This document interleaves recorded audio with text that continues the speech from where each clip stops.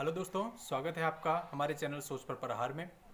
मैं हूँ सनी शर्मा और आज फिर से हम बात करने वाले हैं एक बहुत ही इंपॉर्टेंट लीगल मुद्दे पे। वो ये है कि यदि कोई आपके खिलाफ झूठी एफआईआर या रिपोर्ट दर्ज कराता है तो आपके पास उसके लिए क्या रेमेडी होगी? तो दोस्तों, यहाँ सबसे पहले ये समझ लेते हैं कि जब कोई आपके खिलाफ झूठी एफआईआर दर्ज करवाता है तो उसके पीछे उसका कोई ना कोई मोटो होता है। अब ये मोटो क्या हो सकता है? ये मोटो ये हो सकता है कि वो आपसे रंजिश रखता है आपको किसी तरह से फंसाना चाहता है या फिर आपकी रेपुटेशन ख़राब करना चाहता है। इनमें से कोई एक मंशा इसके पीछे होती है। तो दोस्तों, आज इसके वीडियो में हम यही बात करने वाले हैं कि अगर आपके खिलाफ कोई झूठी एफआईआर किसी भी कारणवश दर्ज होती है तो आपके पास क्या क्या रेमेडीज अवेलेबल होंगी। वीडियो शुरू करने से पहले आपसे कहना चाहूँगा कि अगर आपने अभी तक हमारे चैनल को सब्सक्राइब नहीं किया है तो सब्सक्राइब कर दें और नोटिफिकेशन बेल पर ज़रूर क्लिक करें ताकि जब भी मैं ऐसी कोई वीडियो पोस्ट करूँ तो उसकी नोटिफिकेशन सबसे पहले आपको मिले। तो दोस्तों स्टार्ट करते हैं आज के इस लीगल टॉपिक को। दोस्तों, मेरी हमेशा ये कोशिश होती है कि मैं जो भी इन्फॉर्मेशन आपके लिए लेके आऊँ, उसमें लीगल शब्दों का कम से कम यूज़ करूँ और जो अपनी लैंग्वेज है, वो बहुत सिंपल रखूँ ताकि आपको कोई कन्फ्यूज़न ना रह जाए। तो अब हम बात कर रहे थे एफआईआर की। अगर कोई आपके खिलाफ झूठी एफआईआर दर्ज करता है तो यहाँ पर सबसे पहले आपको ये समझना ज़रूरी है कि जो क्राइम होते हैं, वो दो तरह के होते हैं। एक होता है कॉग्निजेबल और एक ऑफेंस होता है नॉन कॉग्निजेबल तो जो कॉग्निजेबल ऑफेंस होते हैं, वो सीरियस टाइप के क्राइम होते हैं और उनमें जो पुलिस होती है, वो आपको बिना वारंट के गिरफ़्तार कर सकती है और इसमें जो सज़ा होती है, वो सात साल से ज़्यादा होती है। सेकेंड हमारे आते हैं नॉन कॉग्निजेबल ऑफेंस ये वो ऑफेंस होते हैं जिनमें जो पुलिस है, वो आपको गिरफ़्तार नहीं कर सकती है। पुलिस को वारंट चाहिए होगा, तभी वो आपको गिरफ़्तार कर सकती है और ये सीरियस टाइप के क्राइम नहीं होते हैं। तो दोस्तों, सबसे पहले अगर आपके खिलाफ कोई झूठी एफआईआर दर्ज हो जाती है तो जो पहली रेमेडी आपके पास अवेलेबल है वो ये है कि जब आपको पुलिस सूचित करे कि आपके खिलाफ एफआईआर दर्ज हुई है, आपको पुलिस फ़ोन से सूचित कर सकती है, या आपके घर आ सकती है, या आपको थाने पर बुलाया जा सकता है। किसी भी तरह से जब आपको सूचना मिलती है तो आपको थाने पे जाना है, आपको डरना नहीं है, आपको पुलिस से भागना नहीं है। क्योंकि जब आपने कोई क्राइम नहीं क्राइम नहीं किया तो सबसे पहली बात यही है कि आप कॉन्फिडेंट रहिए, अपना कॉन्फिडेंस मत गिरने दीजिए। और आप सीधा पुलिस के बुलाने पर थाने जाइए और वहाँ जाकर अपनी पूरी बात बिल्कुल कॉन्फिडेंस के साथ आपको पुलिस के सामने रखनी है कि मैंने अपराध नहीं किया। और जिसने भी आपके खिलाफ एफआईआर दर्ज कराई होगी, उसने ज़ाहिर सी बात है, उसमें बताया होगा कि आपने किस समय और किस तारीख को वो अपराध कंडक्ट किया था। तो आप पुलिस को बताइए कि इसने गलत इन्फॉर्मेशन आपको दी है इस तारीख पे और इस समय। मैं इस जगह पे नहीं था, किसी दूसरी जगह पे था। ऑब्वियसली आप कहीं ना कहीं तो उस समय रहे होंगे और अगर आपके पास उसका कोई एविडेंस भी है तो बहुत अच्छी बात है, वो भी आप पुलिस के सामने रख दीजिए। बाकी आप पुलिस को ये भी कह सकते हैं कि आपकी मोबाइल लोकेशन ट्रेस करके पता चलाया जा सकता है कि उस समय पर आप कहाँ थे। कुल मिला के बात यह है कि आपको पुलिस को कन्विंस करना है, घबराना बिल्कुल नहीं है। अगर अपराध ऐसा है जिसमें सज़ा सात साल से कम है। तो ऐसे अपराध में पुलिस आपको गिरफ़्तार तो कर नहीं सकती। तो इसलिए आपको बिल्कुल निडर होकर पुलिस के सामने अपनी सारी बात रखनी है और कोशिश करनी है कि पुलिस को आप कन्विंस कर लें।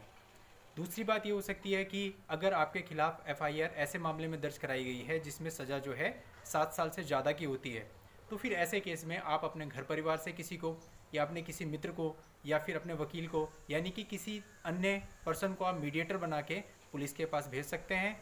और वो उसी तरह से पुलिस को बताएगा कि आपके खिलाफ गलत एफआईआर दर्ज कराई गई है और आपसे वो व्यक्ति रंजिश रखता था, इस कारण से एफआईआर दर्ज कराई गई है और इस व्यक्ति पर कार्रवाई होनी चाहिए। यानी कि आप स्वयं ना जा करके किसी को भेजेंगे क्योंकि अगर मामला ऐसा है तो फिर इसमें जो है पुलिस आपको तुरंत गिरफ़्तार कर सकती है। अब यदि आपकी बात से पुलिस कन्विंस हो जाती है तो पुलिस को ऐसे में उस व्यक्ति के खिलाफ दो सेक्शन के अंतर्गत कार्रवाई करने का अधिकार है जिसने आपके खिलाफ झूठी एफआईआर दर्ज की है। सबसे पहले पुलिस के पास ये पावर है कि वो सेक्शन 182 आईपीसी के अंतर्गत उस व्यक्ति पर कार्रवाई कर सकती है। सेक्शन 182 आईपीसी ये कहता है कि यदि कोई व्यक्ति किसी भी पुलिस अधिकारी को किसी व्यक्ति के खिलाफ झूठी सूचना इस उद्देश्य से देता है कि उसमें उसका कुछ फ़ायदा हो और जिसके खिलाफ वो झूठी सूचना दे रहा है, उसका किसी भी प्रकार से कोई नुकसान हो जाए। तो ऐसे में पुलिस सेक्शन 182 आईपीसी के अंतर्गत उस व्यक्ति के खिलाफ मामला दर्ज कर सकती है और इसमें उसे छः महीने तक की सज़ा और फाइन या फिर कोर्ट दोनों भी उस पर लगा सकती है।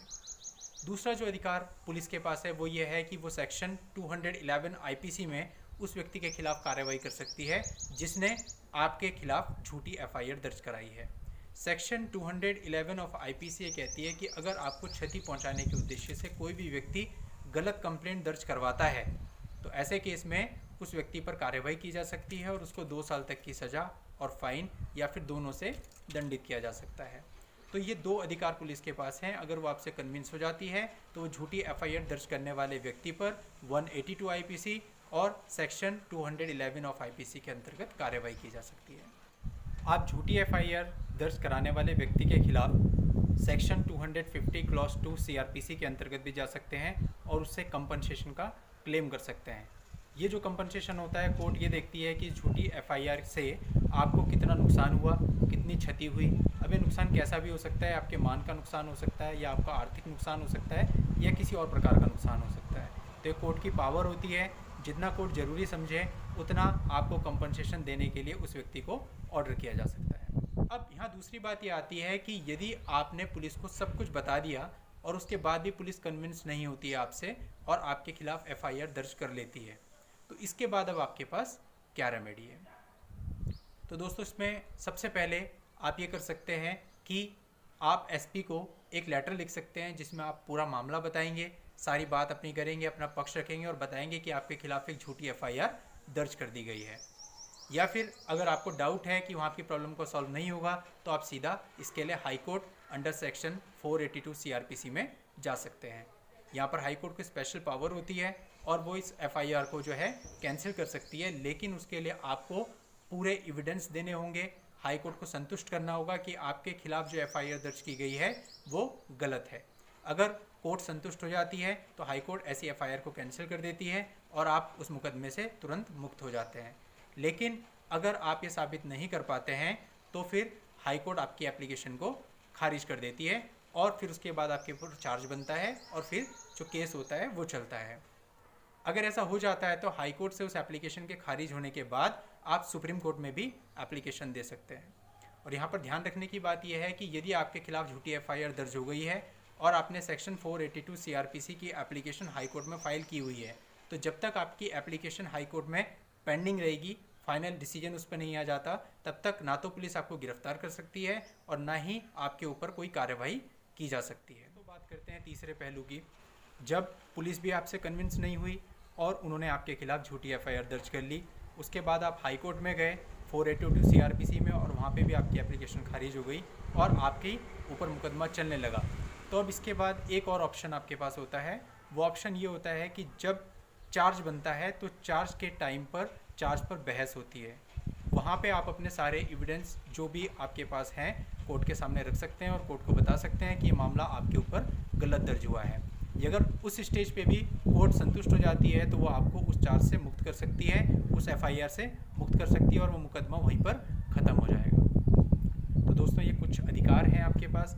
अगर आपके खिलाफ कोई छोटी एफआईआर दर्ज हो जाती है तो उसके खिलाफ आप ये सारी रेमेडीज परिस्थितियों के अनुसार अपना सकते हैं और अपना बचाव कर सकते हैं। तो दोस्तों, अगर आपको वीडियो पसंद आई हो तो आप इसे लाइक कीजिए और ज़्यादा से ज़्यादा आगे शेयर कीजिए। Thank you